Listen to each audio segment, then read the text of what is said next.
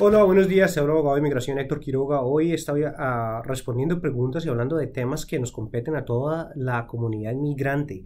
¿Qué derechos tenemos? ¿Cómo nos podemos defender? ¿Cómo podemos nosotros pedir y adquirir eh, estatus migratorio? Entonces, una vez más, por favor, compartan el video, denle me gusta. Eh, en todas las redes sociales estamos en Abogado Quiroga, Abogado Quiroga en YouTube, Instagram, Twitter a Facebook, en, en, todas las redes sociales, por favor, abogado Quiroga, eh, les agradezco bastante a su ayuda, por favor, compártanlo eh, y por favor síganme porque pues es supremamente importante que la comunidad se, se, se, entere. Bueno, el tema de hoy es una pregunta que pasa bastante y es, ¿qué pasa cuando hay un accidente de tránsito? ¿Qué tipo de derechos tenemos nosotros los, los inmigrantes, ya sean documentados o no documentados? ¿Qué derechos tenemos? Entonces recordemos que eh, un accidente de tránsito es, es un problema de negligencia, es un problema, es un accidente eh, eh, civil, no tiene ningún tipo de relación a un problema criminal. Es decir, nosotros tenemos todos los derechos, independientemente de nuestro estatus migratorio, nosotros podemos enforzar nuestros derechos contra una compañía de seguros,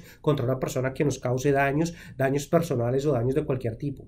Esto es cierto incluso cuando la, defensa o lo que son los abogados del seguro argumentan que nosotros no debemos ser compensados por, nuestro, por, nuestros, eh, eh, por nuestros salarios o por nuestros pagos ah, horario por hora porque dicen que nosotros no debemos estar trabajando porque no tenemos ningún tipo de, permiso. Pues esto es simplemente cerrado. Nosotros tenemos todos los derechos, incluso la ley dice que este tipo de argumento no siempre es eh, admitido en una corte de la ley nuestra situación migratoria. Entonces nosotros sabemos que si nosotros somos eh, víctimas de un, de, un, de un accidente, ¿no? De un accidente de carro, nosotros todavía podemos ejercer nuestros derechos independientemente de nuestra ciudadanía, independientemente de nuestra residencia, independientemente de nuestro estatus migratorio. Entonces es supremamente importante que las personas, por favor, lo sepan. Nosotros realmente tenemos la posibilidad de enforzar todos nuestros derechos. Entonces, bueno, muchas gracias. De todas formas, por favor, compartan el video, les me gusta, compartan en todas las redes porque es bastante, bastante importante para nosotros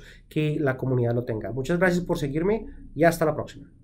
Gracias por seguirnos en Abogado Quiroga, en Twitter, en Instagram, Facebook y en YouTube, en todas partes. Por favor, síguenos y comparte la información con tus amigos y con tu familia. Gracias.